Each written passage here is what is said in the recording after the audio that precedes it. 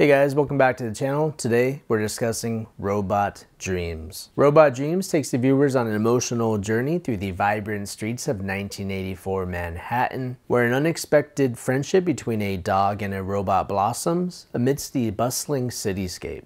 Directed by Pablo Berger and drawn inspiration from Sara Varon's acclaimed comic, this Spanish-French animated tragic comedy deftly explores the themes of companionship, resilience, and the unexpected nature of existence. At its core, Robot Dreams is a poignant meditation on the essence of friendship and the profound impact of unexpected loss. The narrative unfolds with gentle grace following the heartwarming bond between the canine protagonist and their mechanical companion. However, their short-lived perfect world is shattered when tragedy strikes, leaving the robot stranded on a beach, closed until the next summer. And as the seasons change and the characters grapple with separation, the film delves into the complexities of grief and the enduring power of hope. Berger's direction infuses the story with a sense of whimsy and melancholy, capturing the essence of life's highs and lows with excellent precision. I've heard it called like an animated past lives, and I can understand the comparison. It's interesting how one can find fulfillment in life, even if it's not how we planned or expected.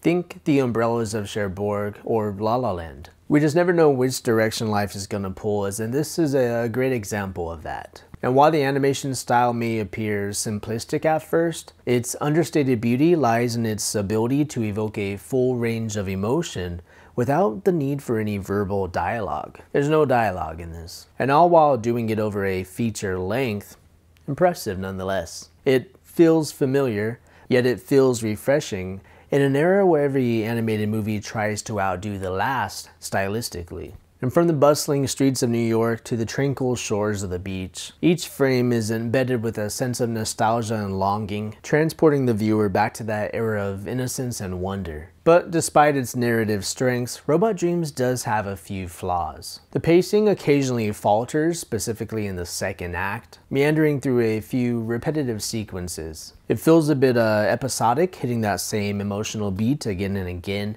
and I feel they could have reached that same impact while doing much less. Additionally, while the film is set against the backdrop of the 1980s, the time period isn't always clearly conveyed, and it could have benefited for some more overt clues. In fact, the numerous shots of the World Trade Center, the Twin Towers, and the recurring song, Earth, Wind & Fire's September, had me kind of wondering if it was going in a certain direction. Glad it wasn't though. But for me, the first time watching it, it wasn't really apparent that it was set in the 80s, so the numerous shots of the, the Twin Towers was a, a bit distracting. Nevertheless, Robot Dreams remains a touching and thought-provoking watch. For Lettergrid, it earns a commendable B+.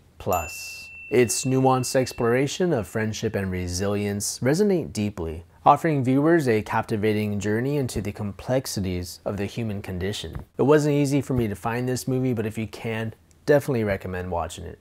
For further viewing for another animated tale of friendship and self-discovery, The Iron Giant is an underrated classic that can captivate audiences of all ages. And for a whimsical exploration of life's joys and sorrows, consider watching Marcel the Shell with Shoes On, a delightful semi-animated film that celebrates the beauty of embracing the unexpected. Alright guys, as always, thanks for watching and see you on the next one.